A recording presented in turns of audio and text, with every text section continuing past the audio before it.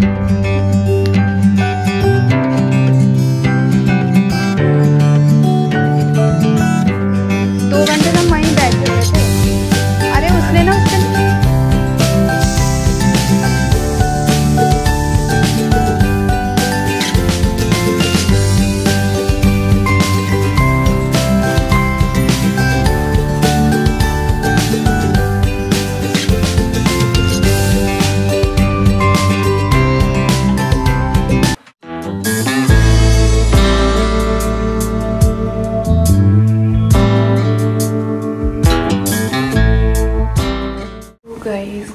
सुबह हो चुकी है और अभी मैं उठी हूँ और अभी मैं नाश्ता करूँगी।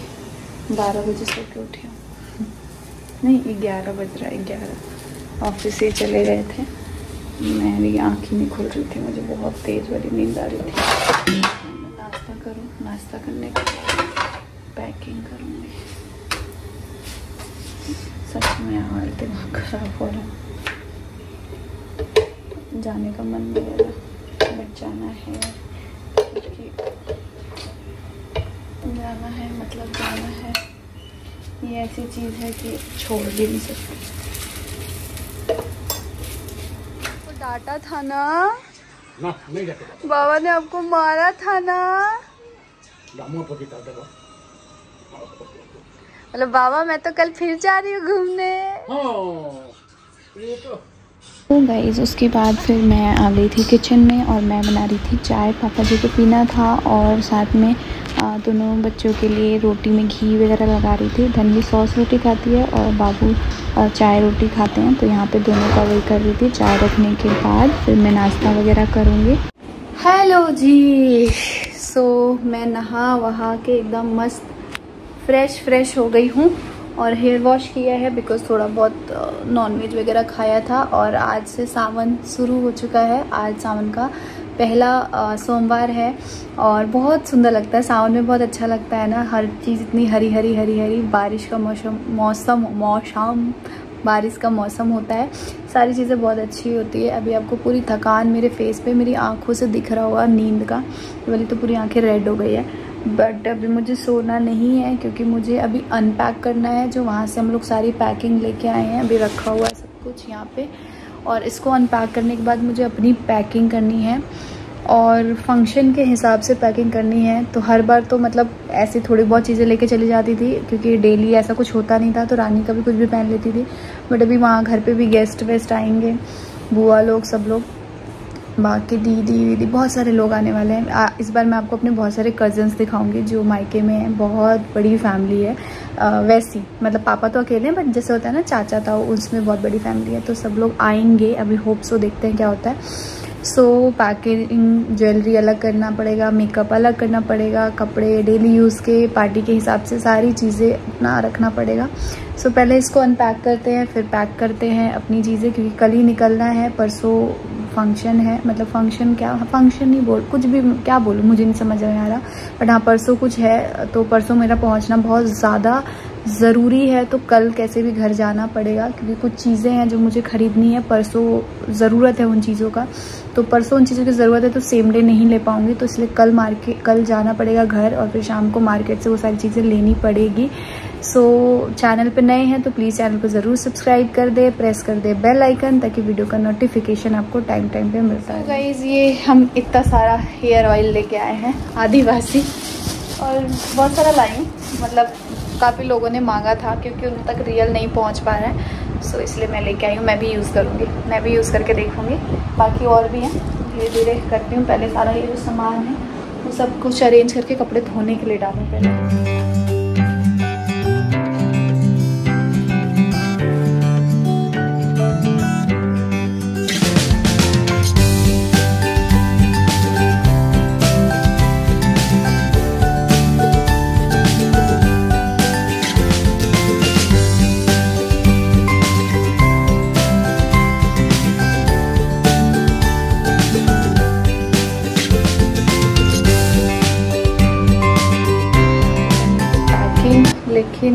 सासू माँ को जाना है मार्केट वो सुबह से खैर कह रही थी कि चलना है चलना है। हमारे किचन के ना सारे डब्बे वगैरह सब ख़राब हो गए पता नहीं। तो मम्मी कह रही है कि फिर कल तुम चली जाओगे तो आज ही चलते हैं। डब्बे लेके आ जाएँगे किचन विचन का। तो मैंने कहा, चलो ठीक है, चलते हैं, देखते हैं, मिल जाएगा तो ले लेंगे। अदरवाइज़ फिर देखते हैं क्या होगा। और काफ़ी टाइम से जाना है, क्योंकि एक ना हम लोग बहुत पहले एक कुछ सामान लेके आए थे तो वो भी एक्सचेंज कर दिया था तो उसका दो तीन हज़ार रुपये अमाउंट पेंडिंग था, जो हमने ऐसे एक बिल बनवा के रख लिया था कि फिर कभी कुछ आके ले जाएँगे। तो वो चीज़ भी है तो हमने सोचा उसी में एडजस्ट हो जाएगा, और फिर मैं उधर चली जाऊँगी अपने घर तो टाइम लगेगा तो फिर वो क्या पता और एक्सचेंज करें ना करें। वो बिल मतलब टाइम होता है ना टाइम लिमिट ख़त्म हो जाएगा। तो इसलिए चलते हैं, देखते हैं नया किचन में क्या लेके आते हैं, लेके आते भी हैं कि नहीं लेके आते हैं। मम्मी रेडी हो रही है तो मैं चुन्नी देख रही हूँ तो गई फिर हम लोग निकल गए। एंड आप लोग हमेशा ये चीज़ बोलते हो कि आपकी सासू माँ हमेशा फ़ोन पे बात करती रहती हैं। तो मैं आपको बता दूँ मम्मी की सात बहनें हैं दो भाई है। इतना बड़ा परिवार है। कभी किसी का कभी किसी का फ़ोन आता रहता है तो मम्मी अपना बात करती रहती हैं।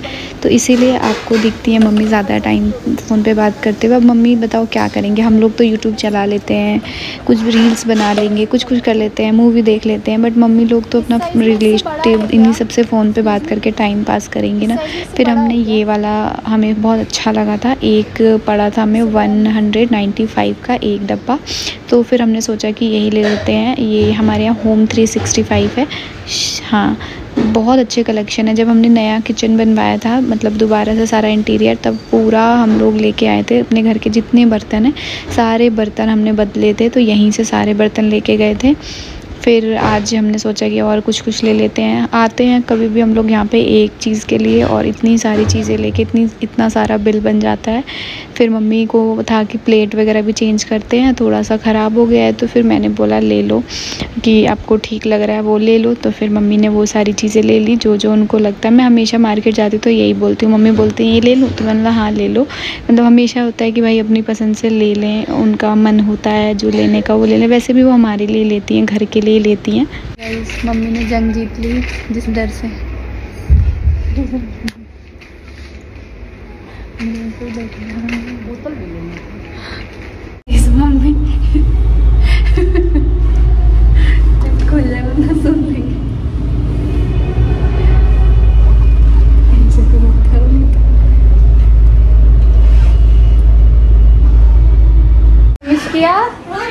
गाइस ये लड़की नहाई नहीं है।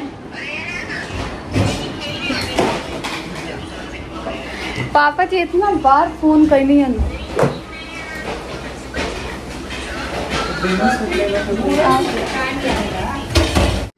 दो घंटे से हम वहीं बैठे हुए थे। अरे उसने ना उस पर नंबर नहीं चढ़ाया था। सही नहीं लग रहा है?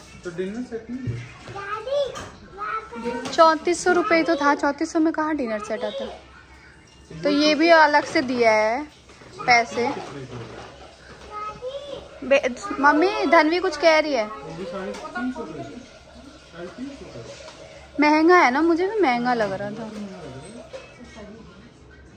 हटेगा नहीं हटेगा नहीं। फूल वाला पापा जी कौरिया पड़ जाता। पापा जी देखिए गाइस ये कैसे लड़ते हैं गाइस यहाँ पे मैं पापा जी को हंसाने के लिए ऐसे ही कर रही थी। मैं बस यही चाहती हूँ ना कि सब हँसते रहें मेरी बातों से सब खुश रहें तो इसलिए मैं मज़ाक कर रही थी। तो ये सारी चीज़ें हम लोग आज लेके आए हैं मार्केट से। मैं फिर जा रही हूँ घूमने। फिर जा रही हूँ मौज है मौज मौज। है मम्मी आज मुझे धमकी दे रही मौज करो लो सास रोटी बना लो। मम्मी कहते हम गाँव में जाए नू तो दो महीना रह जाए। तू लोग बहुत घूमता है तो मेरे साथ चलोगे? नहीं। हम्म। कम से कम सौ फिर उसके बाद मैं आ गई यहाँ पे खाने की तैयारी करने के लिए, जो शाम का, रात का मतलब जो खाना है, वो मैं यहाँ पे चावल रख रही हूँ। और गाइज़ मैं और मम्मी वहाँ पे हम लोग इसलिए इतना हंस रहे थे क्योंकि जो हमारा वो जो कूपन था ना, वो उसका डेट तीन महीने जा चुके थे एक्सपायर हो चुका था, लेकिन हमने ना लड़ झगड़ के वो करवा ही लिया। तो इसी बात पर मैं मम्मी और हंस रही थी कि मम्मी हमेशा ऐसे ही करती हैं, जब भी बाहर जाती हैं तो वही चीज़ मैं उनको कह रही थी कि मम्मी आपने जंग जीत ली, क्योंकि चौंतीस सौ रुपये थे तो मैं इसीलिए जा नहीं रही थी कि कौन जाएगा लड़ने, लेकिन आज मम्मी ने करवा ही लिया। गाइस मुझे करनी थी पैकिंग आज सिर्फ़ चावल चावल बनाया। सब्ज़ी हम लोगों ने बाहर से ऑर्डर किया था और थोड़ा सा बैठ के बातचीत कर लूँ। आप सभी ने इतना तारीफ़ किया जो ट्रैवल लुक था उस सब का। बहुत ज़्यादा तारीफ़ किया उसके लिए। दिल से थैंक यू आपने दोनों तीनों चारों लुक को बहुत पसंद किया। एंड बहुत सारे लोग ऐसे थे जो मेरे चैनल पे नए हैं, जिन्होंने फ़र्स्ट टाइम शायद मुझे ऐसे देखा है। उनको ज़्यादा अच्छा लगा बट जो पुराने हैं, जो हमेशा से देखते हुए आ रहे हैं, उन्होंने हमेशा एक तरह इस बार भी बहुत बहुत प्यार दिया इस सारी चीज़ों को। आपने हमेशा से देखा है कि जो भी ये वेस्टर्न कपड़े होते हैं, जब भी हम बाहर कहीं भी जाते हैं तो पति देवी हमेशा से शॉपिंग करते हैं। और ये सब मैंने मिंत्रा से लिया है। मैंने सबके लिंक चाहे वो मैंने टॉप पहना था जाते वक्त जो मैं जर्म सूट पहना था, जो मैंने हैंड बैग लिया था, सबके लिंक मैंने डिस्क्रिप्शन में डाल दिया है। आप वहाँ से जाके चेक कर लेना।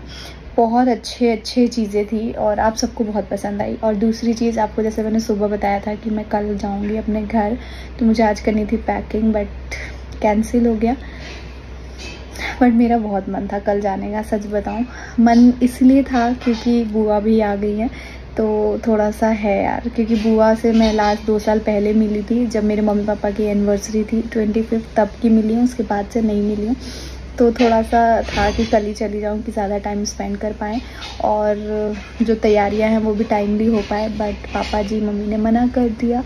मना तो नहीं किया, सच बताऊँ तो उन्होंने बोला कि तुम देख लो, क्योंकि हमारे यहाँ मंगलवार और अतवार मतलब संडे को नहीं आती जाती हैं लड़कियाँ, ना ही ससुराल से मायके, ना मायके से ससुराल। तो ये रीज़न है, कल नहीं जाने का बट देखती हूँ चलो अच्छा है, समय ज़्यादा मिल गया पैकिंग करने का क्योंकि आज तो पैकिंग हुई नहीं है। सो अब मैं कल पूरा दिन पैकिंग कर लूँगी। उसके बाद फिर मैं परसों जाऊँगी।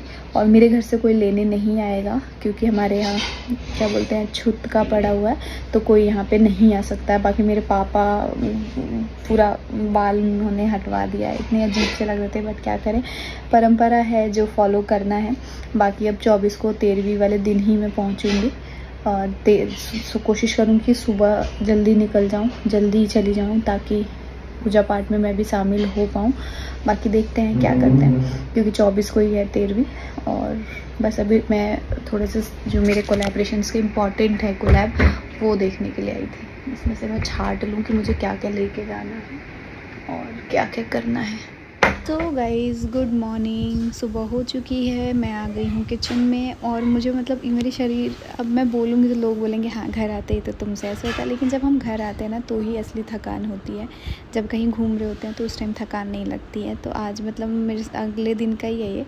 तो थोड़ा सा ना ऐसे बॉडी हिल हिल सी रही थी। मतलब ऐसा लग रहा था कि नहीं, थोड़ा सा सो जाऊँ सो जाऊँ, लेकिन फिर मैंने अपने शरीर को बोला, नहीं भाई, सोना नहीं है, क्योंकि बहुत सारी चीज़ें हैं, सो गए तो फिर दिक्कत हो जाएगी। तो मैं यहाँ पे चने का दाल बना रही हूँ। रात को ही मम्मी ने भिगो दिया था।